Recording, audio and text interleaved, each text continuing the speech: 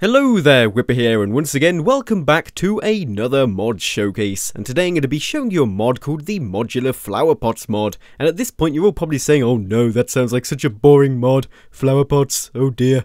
Uh, but no, it's a pretty cool mod, so I'd recommend you stick around. It's a really awesome mod, and it's very good for decorative reasons. If you want to like place down some indoor flower pots of a variety of colours, then this mod is perfect for you. But what I'm going to do is I'm just going to start off by showing you the different colours of large flower pot and how you can craft a large flower pot to begin with. And by the way guys, if you can shoot for 600 likes for flower pots, that would be awesome. I never thought I'd say that before.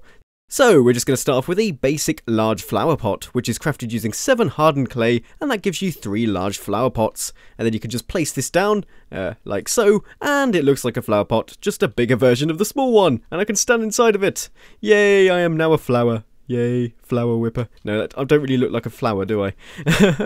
but if you want to make different coloured versions of flower pots, you just create them out of a different kind of stained clay. So you can see here we've got green stained clay, and we get a green large flower pot, and yellow, of course, with a yellow stained clay. So yeah, it's pretty simple to actually craft these. There is another method to doing this though. You can whack this uh, basic large flower pot in your crafting grid along with some kind of dye, and it will dye the flower pot directly. And that's probably better use of your resources instead of dying like seven clay blocks. So yeah, that's pretty much how you can craft these things. And now I'm going to demonstrate how you can use them. When you place them down, they don't have dirt placed in them by default, and to use them you have to get yourself a dirt block or some other blocks. I think it works with sand and gravel and soul sand, and I'll show you what it works with later on.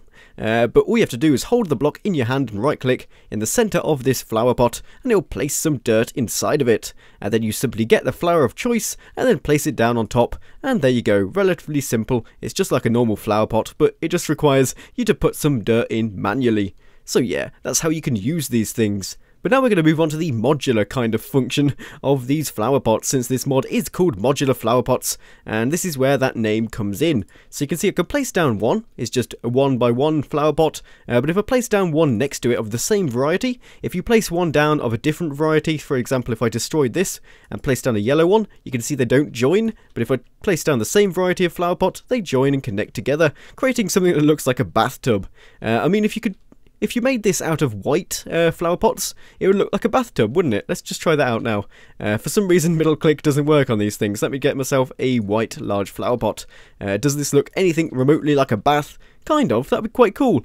Oh no, the base of it isn't white. Oh, that's gonna really annoy me now. Why is that the case? Gah. Anyway, so you can link them together, and then if you fill them both with dirt, uh, they connect up, and then you can just place down flowers in here perfectly fine, or saplings or whatever, and they just look like one continuous flower pot. So yeah, that's the modular function of these flower pots. We're just going to go and destroy those though, uh, because they're getting in the way. So next up I'm going to be showing you the fence posts that this mod adds into the game. And you're probably thinking, wait a minute, I thought this was the modular flower pots mod, and for some reason it adds fences into the game as well. It's a pretty cool feature though, and very good if, if you have some like aesthetic use for these things. So there's two different kinds of fence posts. We've got a normal wood post, and then we've got some wood post fence blocks. And the difference is when you place the wood post fences, next to each other. They'll link up with a bit of rope between them, and they're actually crafted with string, so that makes sense. And when you place down a normal post, when you place two next to each other, they're not linked up, as you can see there. And if I place down three of these fences next to each other, they are linked up.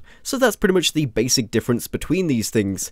And I may as well show you how to craft these now. So to craft one of these wood posts, you're going to need to combine two logs on top of each other, and then you'll get a wood post or you can combine a log with any kind of axe and it will take some of the durability of the axe and then yield you some oak wood posts. So that's pretty epic. And then to craft the fence variety, you need to combine two of those wood posts you've just crafted, along with two string in this shaped crafting recipe, and then you'll get two of those wood post fences. And again, you can craft these out of any variety of wood at all. So you can see here I've got an oak wood post, then I've got a birch wood post, and a spruce wood post, and it even works with the wood types in Biomes O' Plenty. So you can see here, for some reason we've got a giant flower stem post. I didn't think that was classed as wood, but obviously it is. It looks like a miniature cactus, which is really thin and really tall, which is probably more realistic uh, of what a cactus looks like. Cactus cactus, uh, cacti I should say, aren't generally really fat and then really small, unless you get those like ball cacti.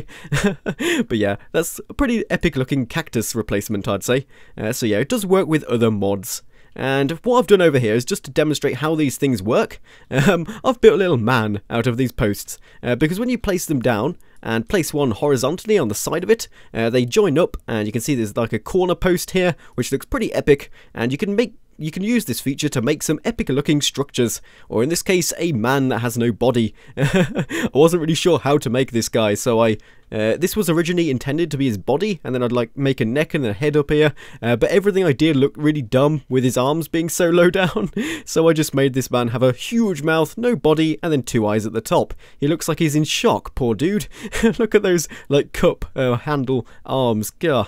Looks a bit ridiculous, and over here was just a demonstration of making it out of some custom wood type from some other mod, so this is palm wood, I believe. These are palm wood posts.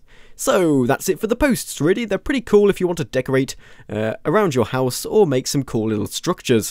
But now let's move back to the features that correlate with the mod name. So you can see in front of me here I have an arrangement of these flower pots arranged out here with different materials inside of them, and these are all the things that you can place inside flower pots. So we've got sand, we've got grass, we've got soul sand and gravel, we've got podzil, or podzol, I don't know what it's called precisely, then we've got dirt, and then we've got some tilled farmland or whatever it's called and we've also got some water here. And you can place different plants on different like base materials. So we've got sand here so I can place a cactus on that.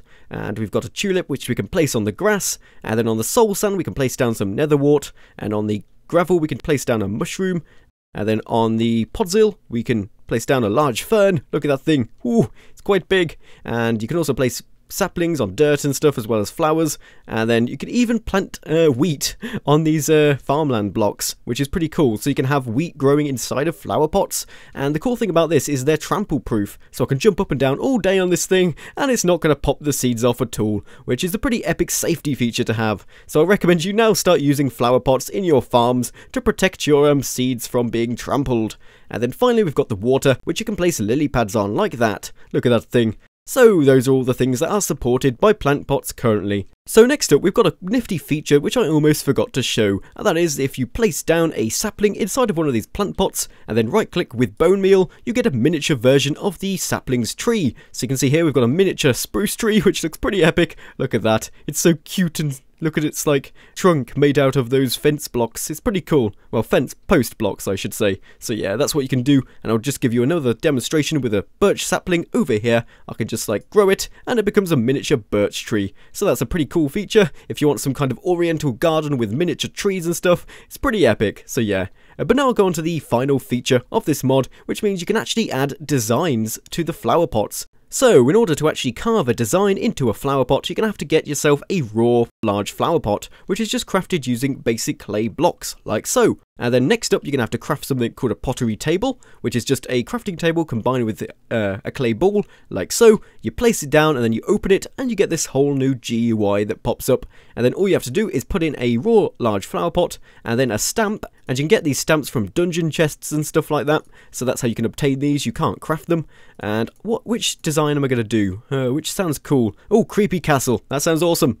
As you can see there, you get a little preview of what the design looks like. And then you can just click it, and then get the design like so. And let's just do this with another one. We've got a nice pink stamp here with Savannah on it, uh, and I'm going to need to get myself another clay pot, I believe. Yeah, there we go. So I'll just place one of these in, and it adds a design to my flower pot. So now I've got two different designs on our flower pots, and then the next stage is you go over to a furnace, whack it in the furnace along with some coal, and then it will cook it into a hardened clay version of this large flower pot, and the design will be added to it and that makes pretty much a lot of sense since it's going to harden the clay and make it less susceptible to the elements. So yeah, and now we've got a nice, let's just put the other one in. Now we've got a nice design on this flower pot, like so. But I'm not going to place it down yet, because what I'm going to do is I'm just going to dye this thing to make it a different colour in this pottery table. You can see I've added some lapis along with this flower pot in the pottery table, and now I've got a blue large flower pot with a design on it. So I can just place it down, and it looks pretty epic with that lovely design and pattern on the side of it.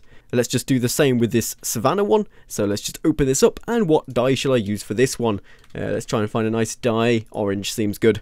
So we're going to add the dye along with the flower pot in here. And now we've got a nice orange one. Don't know why I dyed it to orange since the uh, basic flower pot is pretty orange anyway. But yeah, so now we've got some new flower pots. So yeah guys, that pretty much sums up everything in the modular flower pots mod. So if you've enjoyed this mod showcase, please remember to smash that like button and subscribe if you haven't already. And as always, I'll be seeing you next time.